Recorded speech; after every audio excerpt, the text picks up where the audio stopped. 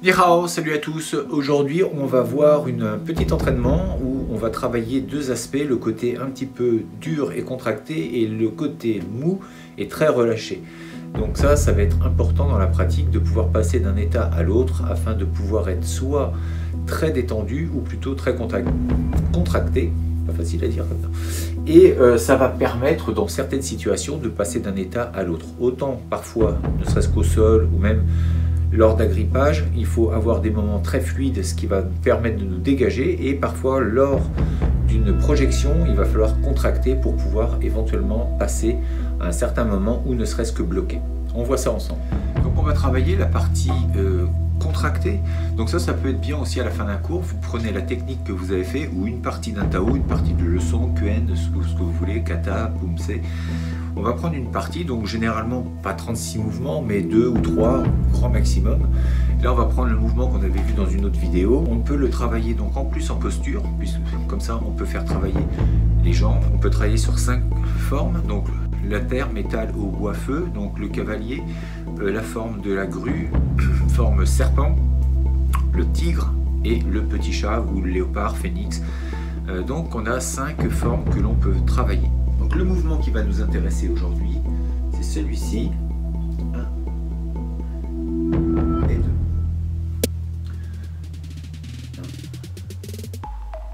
et 2. Donc c'est d'enlever le cou hein, et de venir saisir derrière le cou pour venir saisir. On va simplement faire ceci. 1 et 2, un dévier et passer pour venir saisir. On l'a vu dans la vidéo précédente. Donc si ça vous intéresse, vous pouvez aller voir. C'est dans le Stay Safe numéro 5, je crois, si ma mémoire est bonne. On pourrait travailler le mouvement ainsi. Donc 1 et 2. 1 et 2.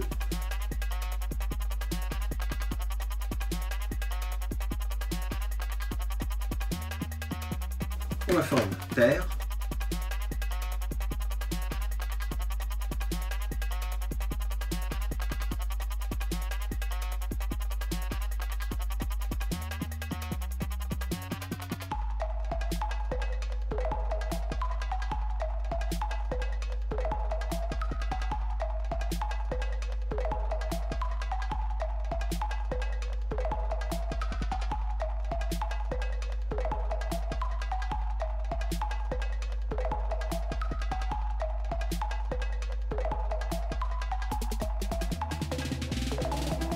Vous l'aurez compris, ce qui m'intéresse, c'est surtout le travail au niveau des bras. Donc la posture, vous prendrez celle qui vous intéresse par rapport à votre pratique. Mais au niveau des bras, donc, c'est de travailler en contraction et de relâcher à chaque fois. Si vous pouvez tenir, tant mieux. Essayez de tenir sur quelques secondes, 30 secondes, voire une minute. Je vous cache pas que c'est assez euh, difficile, euh, mais essayez de travailler, ne serait-ce que 2-3 mouvements. À partir de là, je commence à contracter. Je contracte toujours.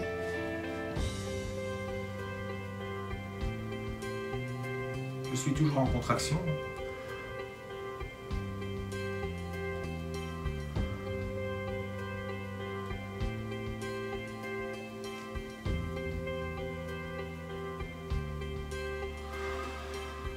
Relâchez.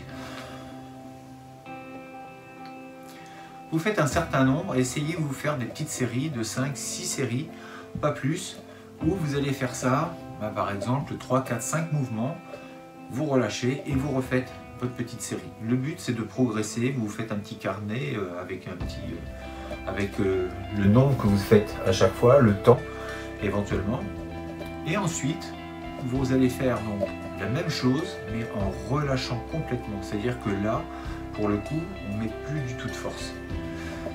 Ça va donner ça.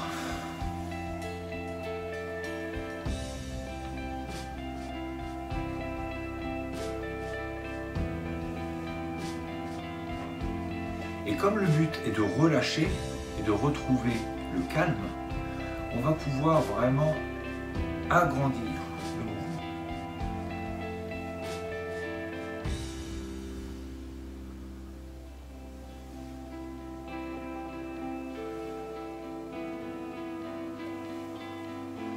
relâcher. On pourrait même c'est ralentir le plus possible. on rentrerait un peu dans des formes qui s'apparenteraient au Tai Chi Chuan. Et on va pouvoir le travailler donc sur mannequin de bois de la même façon, où on va mettre donc soit en force, soit ensuite en totale euh, décontraction. Et ensuite, ce travail-là, donc troisième étape, on peut le faire aussi, c'est en se déplaçant.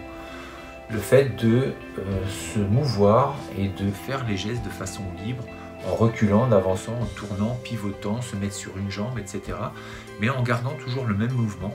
Et ça permet également de rentrer dans des phases un petit peu même de méditation, où on va donc, euh, peut-être si vous avez fait un cours, de ressentir un petit peu tout ce que vous avez vécu pendant ce cours, comment vous l'avez pris, comment vous l'avez digéré, quelles sont les informations, quels sont les moments euh, que vous avez appréciés ou les moments où vous n'avez pas apprécié. Donc tout ça, ce sont des informations sont parfois bien. On ne prend pas le temps de se dire, tiens, qu'est-ce que j'ai vécu dans ce cours? Qu'est-ce que j'y ai appris? Comment je me sens? Qu'est-ce que mon corps a subi? Est-ce que je me sens mieux? Est-ce que je me sens mal? Et si je me sens mal, pourquoi? Euh, Après, on peut aussi aller voir son professeur. Mais en tout cas, c'est aussi un travail personnel et votre propre maître, en fait, c'est vous. Le seul maître que l'on a, c'est soi-même. Donc c'est à se remettre face à ses défauts, à son ego. Euh, je travaille encore dessus, tout le monde travaille, je pense, dessus et ça va être très difficile. Euh, mais en tout cas, c'est intéressant justement à travers ces travaux où on est face à soi-même, où on a un travail à réaliser et il n'y a personne d'autre que nous-mêmes pour ressentir et je vous dis, on peut vraiment rentrer dans une forme méditative. Qui dit méditation ne veut pas dire forcément les yeux fermés, assis, à ne pas bouger, euh, en position lotus, tailleur. Non, il y a des formes méditatives qui sont aussi en marchant. Marcher dans la forêt, ça peut être une forme de méditation. Regarder un beau paysage et se promener seul dans la nature, c'est aussi une forme de méditation. Donc on voit le travail sur le mannequin de bois. Donc on va travailler là en forme contractée donc le but c'est pas de faire fort, de taper, hein. ça va être de venir poser et poser et contracter. Donc soit paume de la main, soit tranchant comme vous voulez, mais ici on va contracter. Relâcher. Contracter.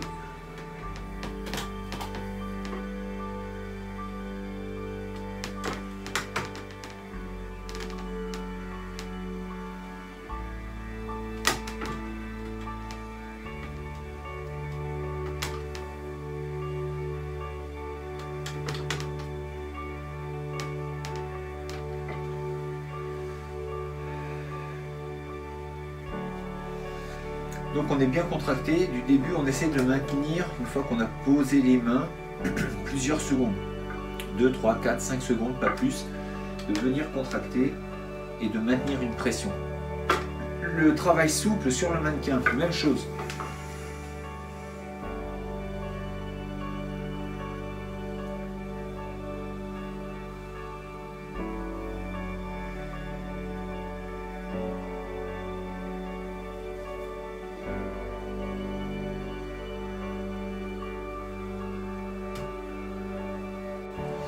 Donc on doit venir carrément caresser l'objet, caresser le mannequin. Si vous entendez ça,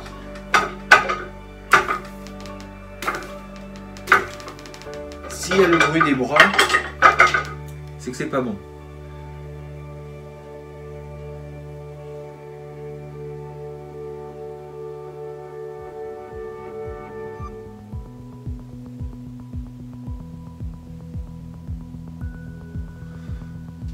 Vraiment caresser.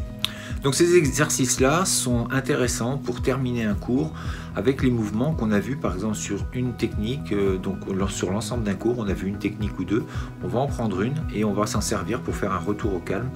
Donc avec un travail un petit peu physique qui va demander vraiment de contracter et qui va avoir un rôle sur le mental un petit peu difficile, et puis par la suite terminer avec quelque chose où on relâche justement ces tensions, où on vient de terminer le cours avec, sur une tension et on termine en relâchant. Et là, on peut vraiment rentrer dans des exercices, je le disais, un peu de méditation, ou si vous avez quelques notions là-dessus, vous pouvez euh, donner des choses à vos élèves pendant qu'ils font les exercices. Parce que souvent, on voit de la forme de méditation où on ne bouge pas du tout. C'est-à-dire que les gens sont assis, ne bougent pas, sont ou allongés. Et euh, la méditation, ce n'est pas que ça. Méditation, c'est agir centré. Donc on peut aussi agir centré tout en faisant euh, une marche, en étant euh, tout à fait éveillé avec les yeux ouverts. Tout dépend de ce que l'on entend par méditation, encore une fois, mais c'est surtout agir centré et euh, penser un petit peu à ce que l'on fait, être présent. Je vous dis donc à très bientôt pour une prochaine vidéo. D'ici là, restez fort, restez beau et surtout, restez bienveillant. 再见。